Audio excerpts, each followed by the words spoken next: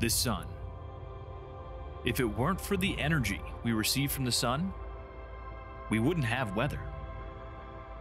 But how is something that's not even on our planet responsible for clouds, floods, blizzards, even tornadoes? Let's start at the beginning. The sun emits several types of electromagnetic radiation. But we are exposed to three types in particular. The first, ultraviolet radiation. Every time you put on sunscreen, it's to protect against the dangers from this incoming radiation. The second, visible light radiation. Think of a rainbow.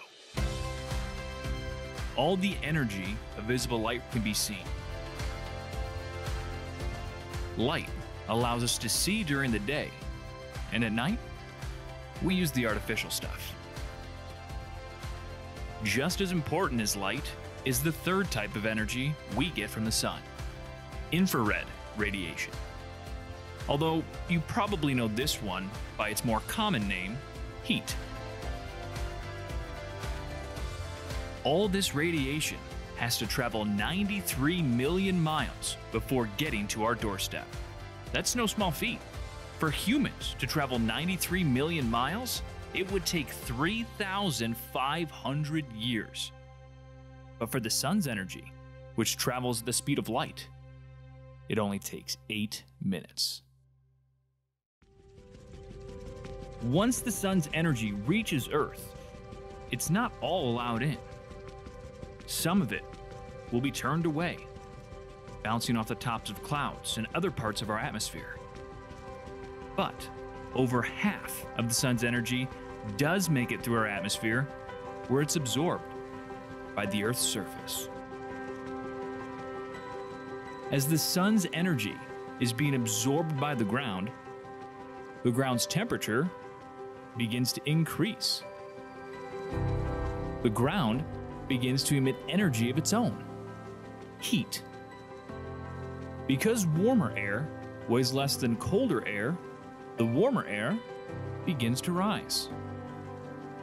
This is why the temperature of the air is warmer at the ground and colder the higher we go in the sky.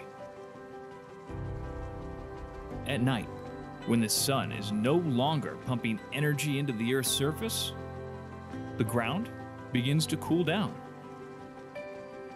And the air begins to cool back down as well. But remember, it's not just the land absorbing the sun's energy. The oceans are too. And the warming ocean water doesn't just warm the air above it, the heat also vaporizes water, turning it into water vapor. This is the first step in making clouds and storms. And it's all thanks to the sun.